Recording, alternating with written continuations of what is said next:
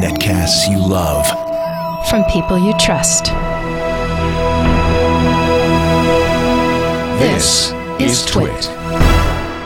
Bandwidth for Triangulation is brought to you by Cachefly at C A C H E F L Y dot com.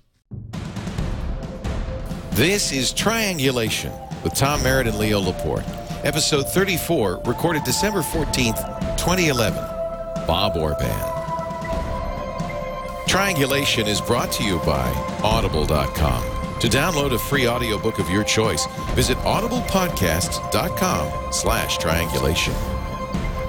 And by Ford, featuring available voice-activated sync with sync services, which enable you to customize your driving experience with personalized news, traffic, and directions. Check it out in the new 2012 Ford Focus and at ford.com slash technology. It's time for Triangulation. Oh, I love this show. A chance for Tom Merritt and me to sit down and talk to some of the best minds in the business. Tom Merritt, hello. Haven't seen you in a while. Thank you for filling in for me all last week. Oh yeah, it's fun. I always enjoy being on Security Now and Windows Weekly And Twit, you did. and Twig And your own show, so you, you're probably exhausted. I'm going to be gone again next I'll week. Did working twelve you? days in a row. Where are you going now? who's who's? Oh right, you're the boss. So Who's the boss here?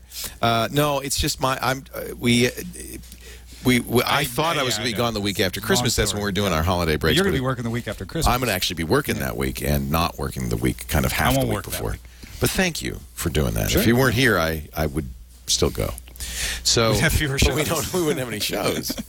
anyway, Tom. Uh, Tom, it's it, it, always fun uh, to, to to sit down and meet interesting people, and this one is going to be maybe a little out of your wheelhouse, as they sometimes say. not Or maybe familiar, not. but I've I've been around. You're an old radio some of this guy. You know, I Yeah, keep yeah, forgetting that. Uh-huh.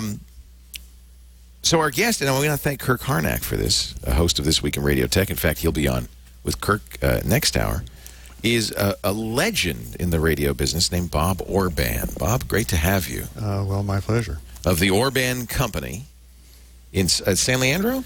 Uh, we are R&Ding in San Leandro. The uh, main office is in uh, Scottsdale, Arizona at the Oh. moment. And then we have a uh, Orban Europe. Oh, uh, wow. is in Ludwigsburg, Germany. How many radio stations use Orban sound processing? Pretty much all of them, I would guess. You know, I don't know if we have a uh, accurate number, but I would say it's in the tens of thousands. Uh, yeah. There are about 40,000 licensed radio stations throughout the world, and uh, we've uh, penetrated a fair number of those I, at this I would guess. I remember very well working at uh, first KLOK AM, then FM in San Francisco, then KNBR. And I remember the first Orban uh, Optimod was what it was called. We got, and I think that was a KLOK AM. And the, and the engineers, John Higdon, who you know, and uh, Dave Williams, were singing the praises of this box. So let's let, but let's we'll get to that. Let's start. Uh, you're you're at Princeton studying electrical engineering. Uh, yes, and uh, I was also interested in the student radio station, WPRB. Uh, WYBC. WPGU. We're all in that in All- that same page there. We really this is a bottom this is a bottom line for radio uh, universities out there. Keep those campus radio stations alive. Yeah, even if you have to stream them. They're great training grounds. Uh, yes, uh, at the time, uh, entirely student run. Mhm. Uh, didn't take any money from the university. Uh, 17 kilowatts, uh, Class B, 103.3. That's important because that meant that unlike most college radio stations, it was a commercial station. In Yeah. fact, all three of our yeah, stations I was 107.1. What were you? 97? 93.7. Is that right or 90? No, 90. Gosh, I don't remember. You were Rock 107. That's why. I remember. 90 it was 92 92.9 maybe i don't remember anyway um, yeah but those are those are commercial frequencies so which meant we sold ads and uh, it was really run like a real radio station except for uh, the the djs were all students uh, yeah, absolutely. I did a little bit of everything. Had a uh, classical music show in the evenings once a week. Uh, f- I think for the entire time. Uh, did a lot of engineering. Was uh, technical director one year. Uh, ended up uh, being music director for a short period of time. Uh, We did uh, rock and roll between four and six. We did uh, what were called standards back in the day. Uh-huh. Most of the rest of the time there was late night jazz, uh, and then classical between I think it was uh, seven and uh, eleven. Wow. Yeah, I think that was pretty common in college radio. Yeah, mixed format. Uh, I guess it's uh, it, it lives on in uh, you know NPR Sure. format. One of the neat things about for for somebody who's interested in electronic engineering or electrical stuff is uh, college radio stations have no money. they have ancient equipment. Keeping them on the air is probably a real challenge, but it's certainly uh, a great way to polish your chops. Yeah, in in the case of WPRB, uh, they were on, I believe, 103.5, and uh, there was a little station, uh, WTFM, in Lake Success, New York, that wanted to uh, move and cover you know, New, the New York uh, city market better. Oh yeah. Mhm. So uh, they paid WPRB to change frequencies, and as a result, uh, they were able to buy um, a nice Collins transmitter and stereo generator. And I believe the WPRB was the first uh, FM stereo college radio station. No kidding. in the Fantastic. country. It was You- uh, you s- fall of 1963. You saw our classic Collins over there that Mike DeRoe uh, reconstructed, did you? Oh yeah. Isn't that a beaut? Did it bring back memories? It's probably the same vintage Uh, or close to it. what was it at, at 820? Yeah. Yeah. Were- So yeah, you built a stereo generator, didn't you, for this? I mean, that was this your Uh, first foray into sound processing? Well, I built some audio processing for the station. Yeah. Uh, started out uh, just manual gain writing, and that turned out not to work so well for stereo uh, because you had to have a uh, faster uh, modulation monitor, and suddenly the peaks that uh, the old GE was ignoring would light the light. Uh, And cause distortion, right? I and mean, uh, that was illegal. And back Oh. then, the FCC was very serious about uh, enforcing its rules and regulations, much more so than they are today. Probably a good thing. Uh, Yeah, they, they seem to have become quite lax. Uh, I remember having to take a test for my FCC license. anymore, and that, that, yeah. yeah, that's gone oh away. yeah, uh, everybody uh, tried to get their first phone. I crammed over a winter vacation. Uh, and if you were really one of the cool guys, you got the radar endorsement, but I didn't go quite that far. so that was in the ham radio. You've got Morse code. In in in uh, radio, it was radar endorsement. I'm not sure what you would, that would be good for, but uh, anyway. Um, so y- you uh, were trying to mo- what keep the signal from getting too hot. Is that what you were trying to do? Yeah, I mean, the uh, viewers of the show probably aren't familiar with the gory details of FCC rules and regulations, but uh, regardless of whether you're on AM or FM or television, there's always some peak modulation constraint. Uh, well, the peak Is that so you won't spill over into other frequencies, or It's a It's little bit different aesthetic. in each one. Mhm. Uh, Okay. In uh, FM, the spilling over sort of happens gradually uh, as you increase the modulation, Uh-huh. you increase the bandwidth. oh, okay, Uh, in AM, you can't pinch off the negative carrier because suddenly you're splattering over half the band. Uh, so it was much more critical to uh, control the AM negative peaks than it was to control FM. But uh, with the advent of FM stereo, the uh, whole peak modulation control technology had to get more complicated than it had been back in the mono days. people don't realize that FM hasn't always been stereo. That it was that it was rel- not recent, but about 40 years ago. It, maybe 50 years it was, ago it was now. 50 years ago. Yeah, Uh, we yeah. had a, uh, a great uh, panel at AES this uh, last fall uh, called uh, 50 Years of FM Stereo. I was on, a number of other people were on it. I believe it is available uh, as a uh, webcast from the AES.org website. Uh, and until 1961, uh, FM was mono. Right. Uh, there were a number of different uh, FM stereo systems that uh, were, you know, uh, tested competitively uh, by the FCC.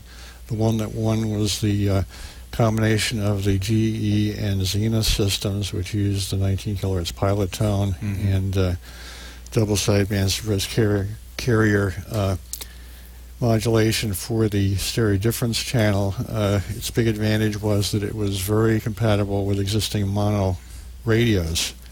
Uh, the downside was that it got about 23 dB more noisy. So suddenly, you know, stations that had a good amount of coverage in their fringe did not have it anymore because the noise floor came up by Mm. 23 dB. And the a- big advantage of lot. FM at the time over AM was going to be better sound. So yeah, no- well, not only to make it wi- wider frequency Mm-hmm. response, going all the way to 15 kilohertz at least. Uh, Really? Some people think that that was the maximum, but in fact, that was the minimum in the Hmm. FCC rules. And until we had FM stereo, you, you could very easily go up to 20 kilohertz Hmm. on on FM. Uh, And what was the low? pardon me. What was the low frequency? Uh, once again, essentially unlimited. The uh, FCC required you to have uh, response up to 50 or down to 50 hertz. Wow. Uh, that was mostly a tech technology limitation of the uh, FM stereo exciters of the day Mm. that used various uh, phase modulation techniques. Uh, once you had direct FM modulation, you could take the frequency response much lower, Mm. and uh, a lot of stations, in fact, did that. So you're really getting almost completely full frequency. Yeah, range. Uh, you know, Major Armstrong uh, tried to sell the idea to RCA back in the yeah. late 1930s. It was a Uh, long slog for FM because of because they they didn't think it was possible. They didn't think it would work. Uh, I think they were worried about their AM properties, which were the equivalent of today's television networks, very valuable. Yeah. Uh, There's a long history of resistance to newer technologies because you're afraid it will eat into the current technology that you've invested money in. Uh, and he, he ended up losing out in court, did he not?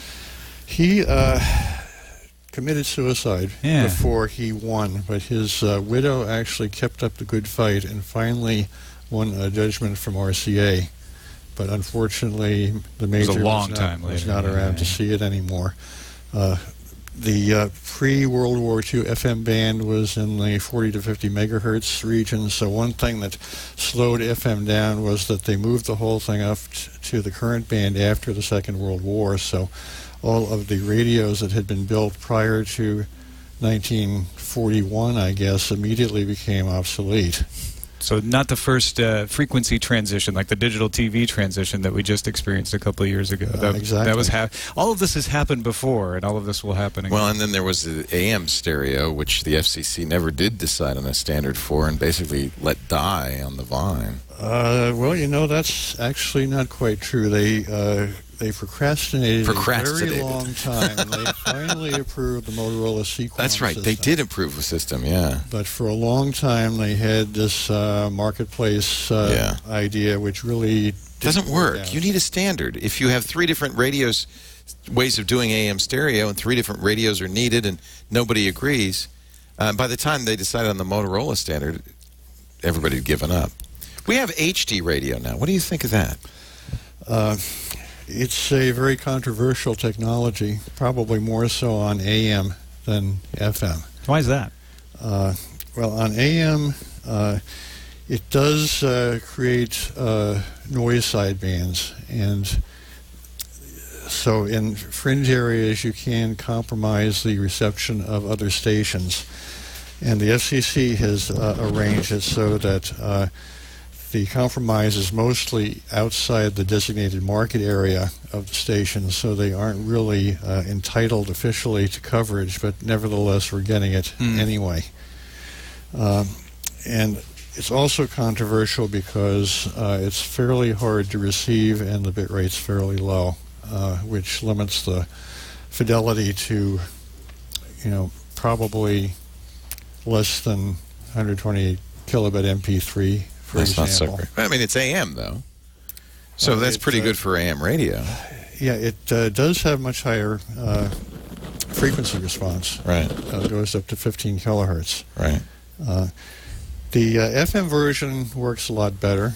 Um, a lot of stations are using the uh, HD radio subcarrier to uh, put two 48 kilobit per second uh, streams, one of which duplicates the analog so that you can crossfade between them. Hmm. Uh, the other, which is a second program, usually called uh, an HD2. Some stations are actually putting yet another one on. Uh, at that point, since you're only uh, you only have a total of 96 kilobits per second available, Hmm. uh, the uh, quality starts to get a little bit ragged. Yeah. The uh, codec used in HD radio is more efficient than MP3, but not as efficient as HEAAC. hmm So it's it's splitting the difference between the two. If you're Yeah, it uses the uh, spectral uh, band replication technology that's uh, used by uh, HEAAC, but from what I understand, the core codec is not as sophisticated. Uh, the the core codec has been considered an iBiquity trade secret, so nobody knows exactly what's in it other than the folks at iBiquity. Wow, that that seems kind of shocking that some one company should control the the codecs for this. Uh, it was very controversial to allow this to uh, be uh, passed by the FCC without a complete system Right. description. Right. Uh, including is- what codec they're using. Yeah, I mean, this is by way of contrast with ATSC digital television, where every aspect of the uh, system, including both the uh, video and the audio codecs, are fully uh, specified. Can only iBiquity make HD radios, or do they license it out? Uh, or they have a- license. They have a uh, chipset that's hidden and obscured, and Yeah, there's a, a number. I think there's a couple of chi- chipsets at this point. There's Hmm. a low power one, uh, finally, so that you can make uh, a tra- portable. yeah portables. Yeah. Uh, I almost Buy. said a transistor. yeah, Best Buy has an Insignia, I Right, believe. right. Is it too little, too late for uh, radio to this HD? Ra- I mean, I, I wonder, you know, what kind of uptake there's been, and uh, I guess it, it always comes down to does GM Delco put it in their cars? Uh, you can get it in some You can, yeah. cars. More and more so. I, I know our Ford Syncs have all have HD uh, radio in them, so Ford's put their money behind it. Yeah, so in many of the premium sound systems, uh, not only in the U.S. manufacturers, but you know, I think uh, Nissan has it and uh, Honda has it. I think I'm not real sure. I, ha- I haven't looked in a while. Uh, Toyota was a holdout for a long time. I, I'm not sure if they have finally offered it or not. Right. Well, maybe, you know, whatever keeps radio alive, I'm all for. Yeah, I It's- mean, I don't know if it's too little, too late, but at least it provides uh, more uh, variety for Right. people who. Uh, More stations on the same. Yeah. It's the same bandwidth, right, per station, or Yes, uh, it's not like the digital transition. Pretty much. It is Uh, digital. Once again, there are these digital These sidebands sidebands, that, yeah. that sound like noise to a, an analog radio. So uh, FM radio uh, stations that are non-HD have uh, seen their uh, fringe area coverage compromised in certain certain situations, but uh, you're not where they're actually officially supposed to have Right. uh, coverage. I want to talk about audio processing, and uh, and we want to talk about the legendary Optimod, in uh, just a little bit. Our guest is Bob Orban, uh, who is a, a legend in the uh, in the radio business, but you also do internet processing. So we'll talk about Uh, yes. We'll talk about that uh, in just a little bit. Before we do, though, we, I mentioned Ford. I mentioned Ford Sync. We've been driving, I've been driving around all day in between shows. We uh, Ford sent us the new 2012 Mustang, a 2012 Fiesta, and a 2012 Focus, each with their own version of the latest versions of Sync, so we could play with them. I just was in the Fiesta, which is kind of you know the affordable car. A lot of a lot of young people drive Fiestas, and it it, it doesn't have the big Ford Sync screen but it has amazing variety of features, all of which come through audio. And I, as a as a guy who's worked for in for years in audio, I kind of love this. So here here's the deal. We'll talk about the Fiesta, and you know, you you, you get it in the you get the focus, you get the big screen in the center, and the screen behind the steering wheel. I mean, it can get more and more elaborate, but the but the basic sync is pretty amazing. There's a little screen on the console there, but mostly everything is done without even looking at that screen. And I'm not just talking about uh, picking songs or making phone calls. Even GPS, there it is. Even GPS, uh, you can. Um, they, they'll talk you through the ride. So, and it's got this thing called sync services. So, the idea is you got your hands on the wheel, your eyes on the road. That's the whole idea. Ford wants to keep you safe. And uh, there is on this uh, Fiesta, on the turn signal, there's a button you press, and it goes bong. First thing I did, because I'm an experienced sync user, I turned off the voice prompts and I just have it go bong. But you'll probably want to turn the voice prompts back on. Did you drive the Mustang? I haven't driven the Mustang yet. No. Oh, what'd you drive home? I, haven't, I, I didn't drive either one. Oh, yeah. all right. Well, yeah, we're going to drive the Mustang. Yeah, well, I'm gonna I think I'm gonna drive the Focus home. Good. You, oh, you'll like the Focus. Anyway, so the Focus, the button is like a paddle on the right of the steering wheel. On the Fiesta, it's on the left. Um, so you press it, bong, and uh, there are a variety of things you can do. But I had my iPhone connected via, there's a USB port. It charges as well as gets audio through USB. So it's digital audio going into the car, very high quality. But it also lets you control the iPhone which is very cool. So I was able to play Pandora and Stitcher and all that stuff. And they've got this thing called Sync Services, which is kind of new. So you press the button, bong, and you say Services. Yeah, you can find out more uh, about this at uh, ford.com slash technology or on the syncmyride.com site. Services, and you can get horoscopes, you can get weather, you can uh, you can tell it, you can set it up online at the ford.com slash sync, and you say, this is my, where I live, this is where our work is. You, it, it knows where your commute is, and you can say, what's the traffic like? I'm going home. What's the traffic going to be like? Or I want to go to San Francisco. What's and it will tell you. You don't have to look on the screen. Again, this is all audio, so you keep you know pay attention to what you're doing, and it will tell you. It will. Uh, you can set up alerts for uh, traffic problems that will send not only tell you, send it to your phone. It'll text you. They have an app. Uh, it's just really a slick integration and, and and I've mentioned this before but the whole idea is your phone is more advanced your uh, you know the product the stuff you bring into the car is more advanced all the time right they're iterating on phones every six months now uh, you can't iterate on a car that fast so Ford was very smart they created a way for you to interface directly with your phone and use the services your phone can provide. They have points of interest now. Already 40 million businesses are in this. So, and it's always updated. There's always more. Your your traffic uh, and your and uh, your weather and your movie prices, your gas always updated. So that's a very clever way to handle it. I want you to try one. First of all, go to the website ford.com slash technology. They've got a bunch of videos, but all the different features, the cap capless fuel filler, which I love. There it is. That's the website. The amazing engines. They've got uh, the, the EcoBoost gas engines, the hybrid uh, engines, and the Fusion. Now the new electrics. I'm waiting for the 2012 uh, Focus Electric. That's going to be my next car. Uh, and of course, in the Ford, Ford Sync technology and Sync services. It's all there, Ford.com slash technology. And then, though, really, you've got to experience it. Go to your Ford dealer and drive one today. I was backing up in the Focus. You'll like this, Tom. And you know, you know, you're probably used to having. Do you have a backup camera on your car? No, I don't.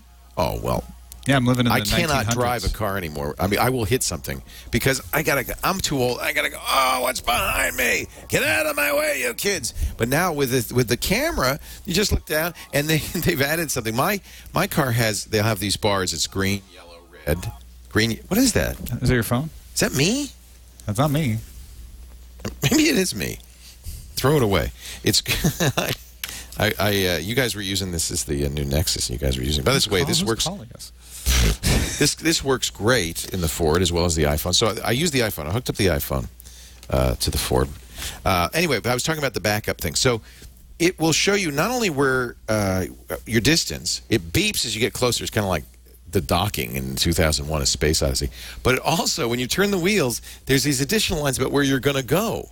And it somehow it ties how far the wheels are. The lines are like Bezier curves, and they and and they and they bend so you know where you're going.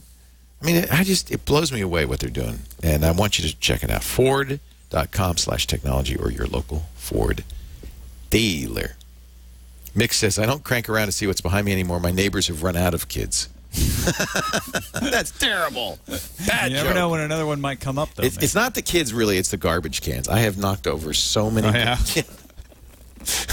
well, you know, I'm in a suburban neighborhood, and everybody puts their, you know, they have Yeah, three right. Mm-hmm. trash cans. They have the long, the recycling, and the trash, and they just they're huge. They take, so we got to kind of maneuver around them. And I'll tell you, a backup camera is great. I ought to watch out for dogs. People in my neighborhood are always Sure. their dogs off leash, Sure. walking around. That's not good. Yeah. You don't want to hit somebody's dog. It'll No, just ruin your day. horrible. And the dog won't be too good either.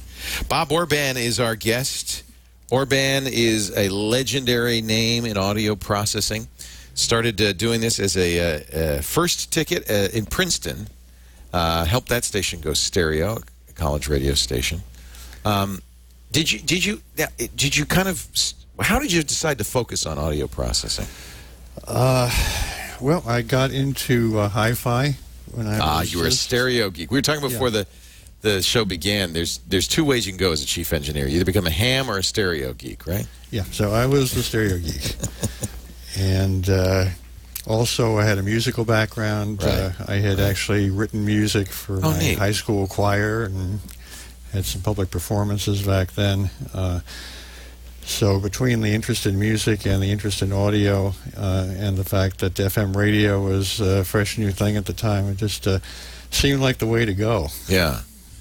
Is uh, t- tell me a little bit about how you. This is still analog, right? Or these we're talking analog technologies here. Uh, Back back in the '60s, yeah, sure. There's, You know, I mean, nowadays it's all chips, but um, so you're modifying waveforms. What do you? What do you? How is this working? Well, our first uh, on-air audio processor uh, was uh, released in 1975. I had built some, you know, one-offs, Mhm. actually starting at Princeton, and then uh, one of the uh, station manu- managers there, and a good friend of mine, Lee Hagen. Oh, Uh, I remember that boy right there. That looks familiar. Optimod Yes, 8000. it does. That boy, you got that right up. that Good job, is Chad. awesome. That is the uh, pre- that is the predecessor to the Optimod 8000 audio processing, except it uses uh, just pre-emphasized clipping instead of a high frequency limiter. And it says, is this am I correct? Overload prevention system. Yes. So this is something important that uh, you weren't really. Some of it was trying to optimize the sound, but some of it is protecting the station owner against the FCC and overloading and, and splashing and, and all that stuff. Yeah, and back in the day, uh, the FCC rules were very important. The commission could, uh, you know, give you a surprise inspection at any time. Uh, they actually did look at overmodulation back then, so that was the primary goal. But the secondary goal was always to keep the broadcast sounding consistent and polished. Mm, Uh, radio, radio's not an iPod on a shuffle, and it shouldn't be. right, Uh, it's an entertainment experience. It's integrated. It has to flow. right. Uh, the uh, individual elements have to mesh, mesh with each other without uh, major changes in loudness or spectral content.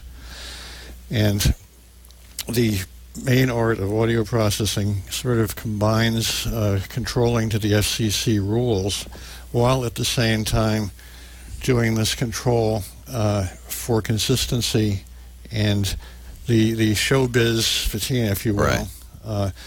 It's a lot like a colorist in a Hollywood movie. That uh, Mhm. you know, every scene gets uh, very carefully color corrected so that when you watch the movie in the theater, all looks like one film. And And audio proce- shading and things like that. Yes. So it all it's consistent. You're not going from some. And it really develops your Yeah. taste because uh, for years when I listened to stuff that was, I thought of it as flat, unprocessed. The dynamic range is all over the place. You don't have the big, rich bass. You don't have the perfect, crisp high ends. It just feels dead. It's it's uh, to me, it's almost like a cook seasoning the stuff. You're making a, it's- you're making a recipe. Yeah, and particularly back when we started, uh, Top 40 radio was still Yeah, very, very the important. boss sound. And Yeah. uh, audio processing was an intrinsic part of that sound. It was help- compressed like crazy, yeah, right? Bring up the energy. Right. Mm-hmm. So let's talk about. So compression is one way you do that, which is squeezing the dynamic range. So the, the quietest stuff is. Correct me if I'm wrong. I'm. Uh, that's I'm ta- correct. speaking to the expert.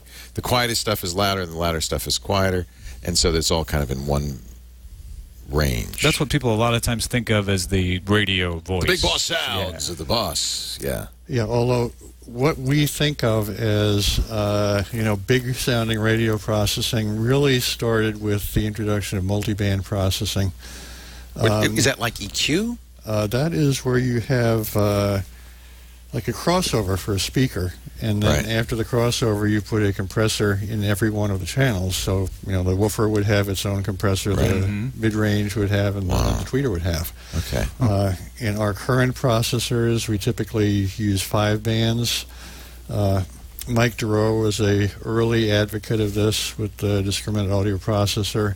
Uh, it was three band.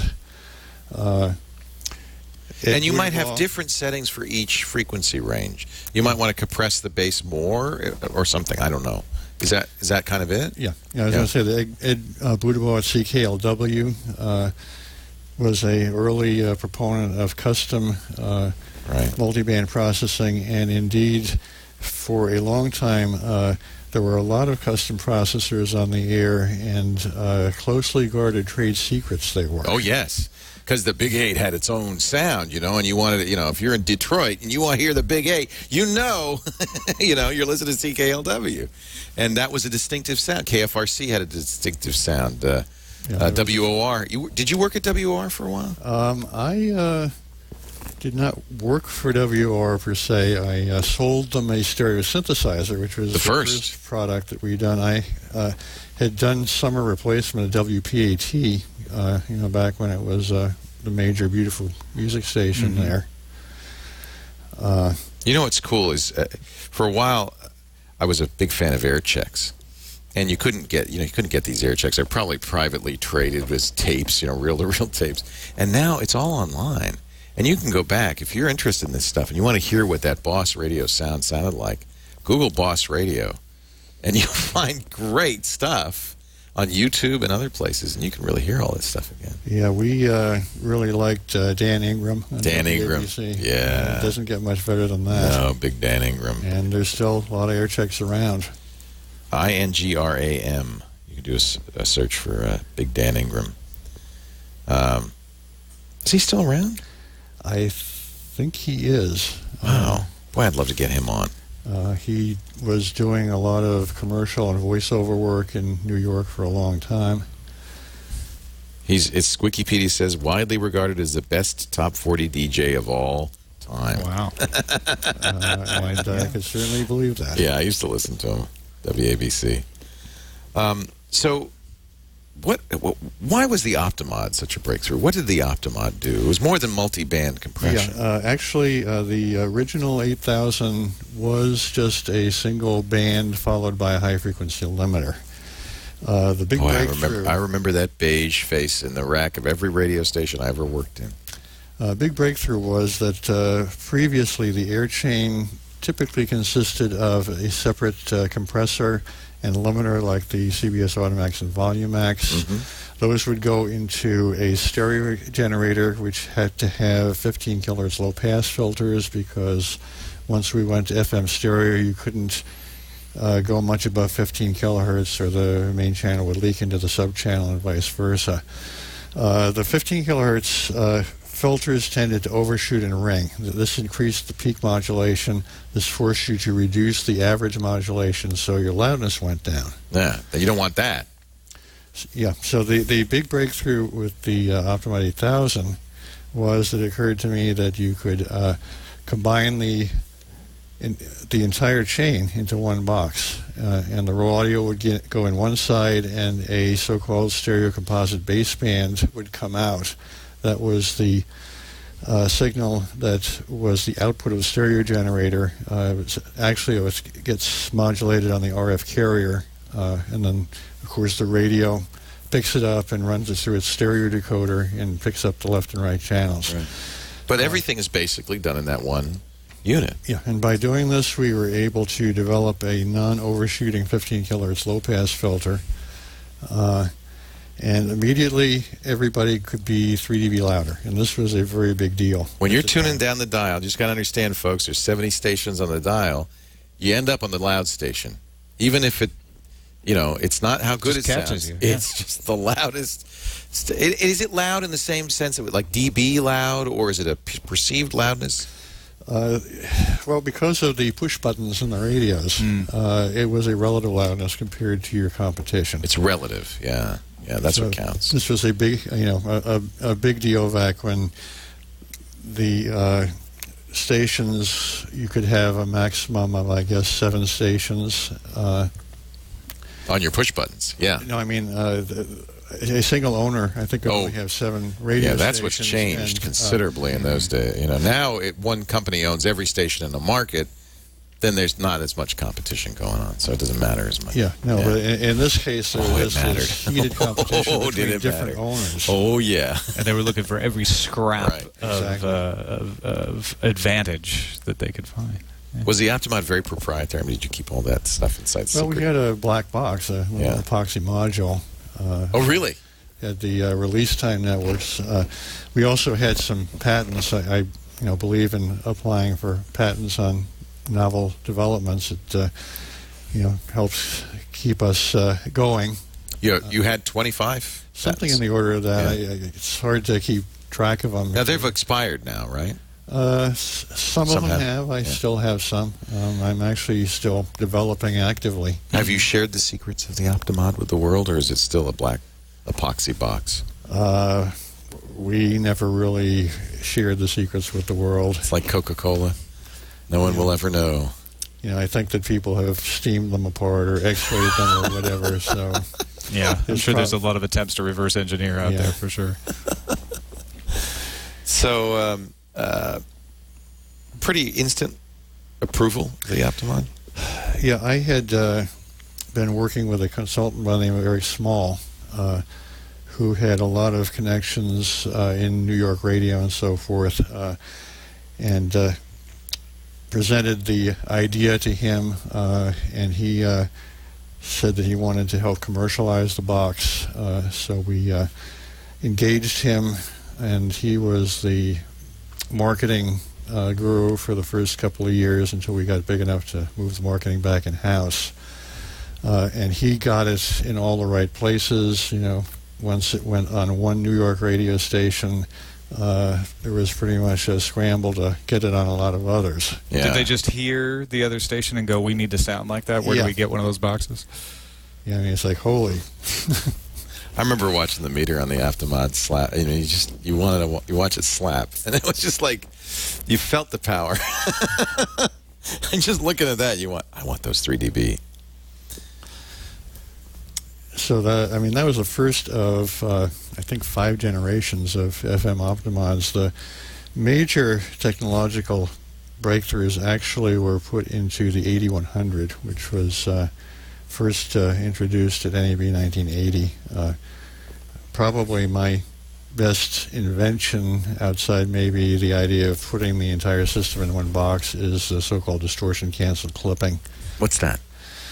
Uh, well, a clipper is like uh, you know a pair of diodes, and you run the audio through the diodes, and it clips off the tops and it clips off the bottoms, and it sounds real distorted. And when you combine this with uh, Why would you want to do that? because uh, if you do it well, so that you you know just skate under the wire of what is audible, Yeah. You do not poke any holes in the audio as you would do with a compressor that had a slower attack and release time. So So you're because you're still compressing, but instead of doing it by squishing, you're doing it by chopping. Yeah, in general, what happens is you it's sort of like a funnel. It starts with an automatic gain control, a sort of slow hand on the pot, then multiband compression, and then finally some sort of clipping. Uh, the multiband compression, if it's done well, will constrain the drive of the clipper so that the clipper does not uh, distort audibly or objectionably, sometimes audibly, but uh, you know, But- but objectionability depends on the, on the Mm, format. And distortion cancel clipping uh, was particularly important for FM because FM uses preemphasis. Uh, basically, the treble is turned up, the transmitter it's uh, turned down. At the receiver, it's a lot of boost. It's 17 dB at 15 kilohertz. Wow, Uh, that's huge. and it's very hard to control the peak modulation caused by all of this preemphasis. If you just run it into a regular clipper, it tends to produce what's called difference frequency intermodulation distortion uh, once it goes through the receiver because the receiver rolls off all the harmonics that the clipper produces, but the IM distortion, which is typically in the range of 2 kilohertz and below, uh, can get you know, un- unnaturally uh, uh, exagger- exaggerated by the de-emphasis process. So distortion cancel clipping uh, basically removes the clipping distortion in some frequency band or another. And uh, the first one, it removed it from 0 to 2 kilohertz, which is basically the flat pass band of the radio Mhm. after the de-emphasis. Uh, typically, what would happen is that when you're speaking through a clipper, every time you said an S, it would sound like a F because the of the frequency components caused by the intermodulation. It's sort of rounding off the sound then, or Uh, well, it, it, it, I'm sure you've heard this in other contexts uh, because it happens in communications channels quite a bit. Uh, it doesn't uh, do much bad for intelligibility, but it doesn't make it sound hi-fi. It Mhm. bugs you. yeah, Yeah. Yeah, so uh, very inelegant. Um, and that allowed us to get brighter and even louder than the original 8000. If you when you write your biography, it's going to be the quest for loudness. brighter Our, and uh, louder. yeah, our, our, our motto is cleaner, louder, brighter. yeah. I like it. I like it. We're talking to Bob Orban, uh, uh, one of the legends in uh, radio broadcasting. But the internet is here, and I want to talk a little bit about internet uh, broadcasting. Of course, you know we are processed very heavily um, by the uh, Omnia stuff. I think we're probably the only internet broadcaster using high-end Omnia One processing, thanks to Kirk Harnack and the Telos uh, folks. Um, and I tell you, when we don't use the Omnia, I hear from people. They don't know what they're hearing, but when they don't hear when it's flat, they know. They it's not as intelligible. I can't understand it. It's not punching through.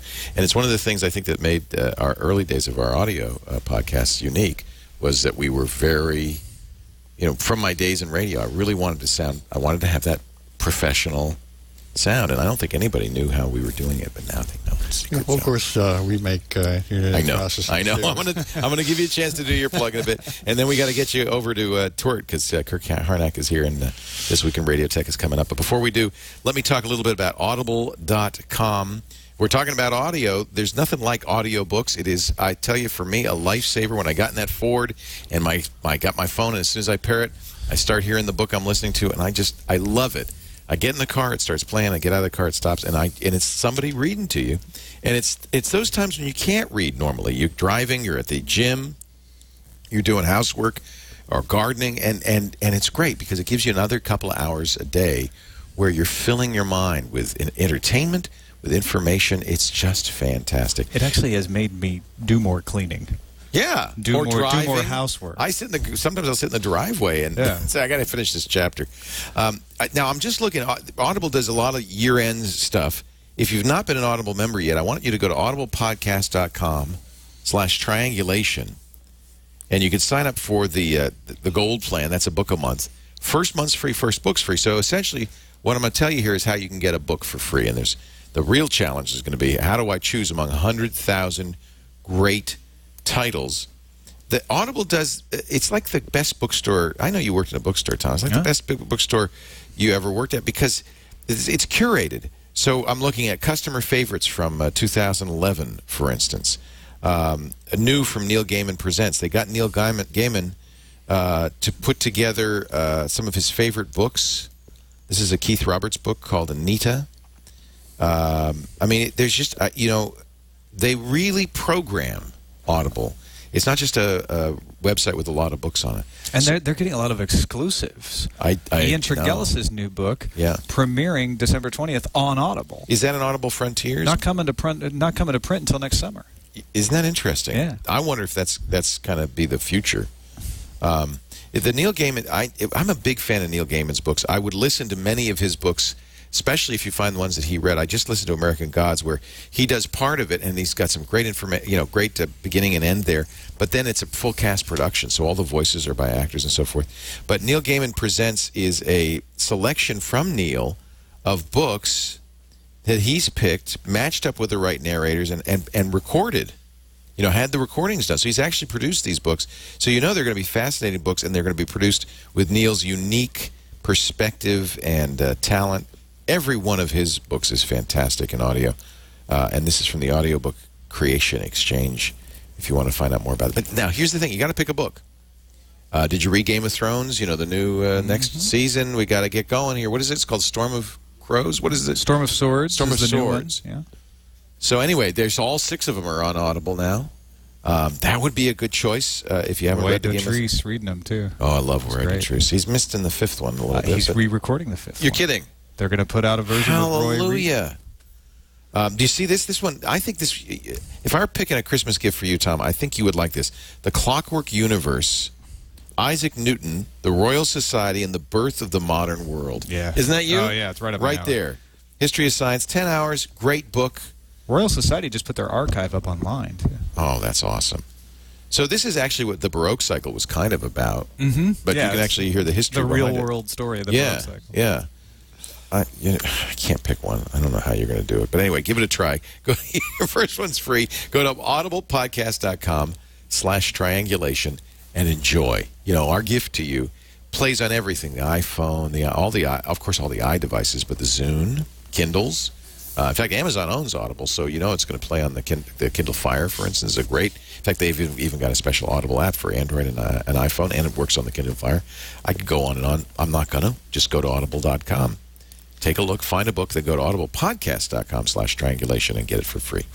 You are going to love it. audiblepodcast.com slash triangulation. Bob Orban is our guest. So, internet. Did, when you hear internet audio, do you just barf? Uh, internet audio can sound really good, but you have to use the right codec. And I don't think people really know what they're doing in, a lot of cases. I mean, I'd like to throw out uh, Greg Ogonowski's name here because he is our uh, evangelist and guru when it comes to the uh, the whole internet uh, netcasting thing. Uh, and uh, if you use HEAAC at 48 kilobits per second, it sounds very nice. At 32, it's pretty good, except for a little raspiness at the high end. Uh, What's that codec again? uh, HEAAC, formerly called uh, AAC Plus, Okay.